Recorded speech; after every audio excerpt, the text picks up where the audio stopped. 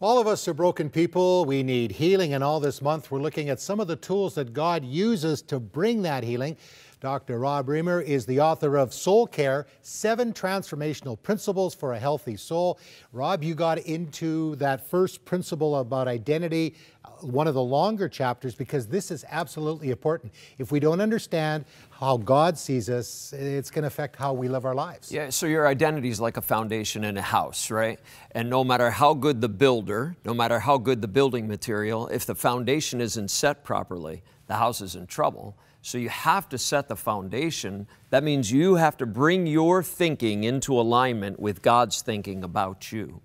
I love Jesus' line in John 8 32, which we often misquote. We only quote the second half of the verse. We quote, You will know the truth, and the truth will set you free. free yeah. But that's not what Jesus taught.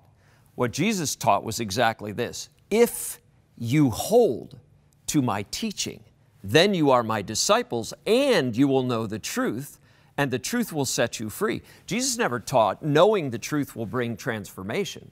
Jesus taught holding on to the truth mm. would bring transformation. So going to church meetings won't transform our lives. No. So for me, I knew the truth. I preached the truth. You are loved, right? Even while you're yet sinners, Christ died for you. We know the verses, we can quote them. The issue is this Have I integrated that truth by holding on to it into the center of my being oh. so that I am now living off this true foundation? So I'm living off the foundation that the issue of my value is settled at the cross. That the Father said when Jesus died on my behalf and your behalf, I love you so much, you're worthy of my son's blood.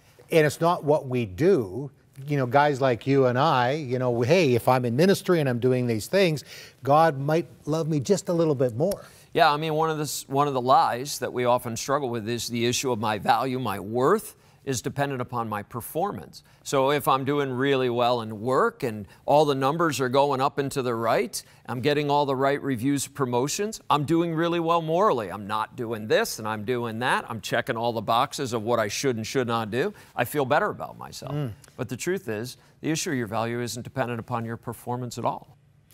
So you're an author, and I know that a lot of the things that you write about is out of your own journey. And I kind of think a guy named Paul, who wrote like more than half the New Testament, was dealing with that because in Ephesians, 30 times it was either in him or in Christ. He was trying to get that into himself.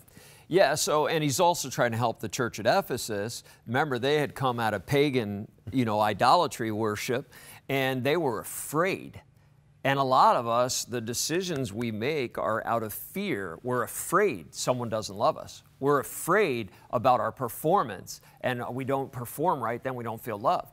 And so he's trying to sink down their roots mm. that they are loved because they are in Christ and Christ is in them. That's why they're secure. Yeah, it's not what you do. This identity thing is so important. We're going to pick it up again next time with Dr. Rob Reimer. And here's how you can get your copy of Soul Care Seven Transformational Principles for a Healthy Soul.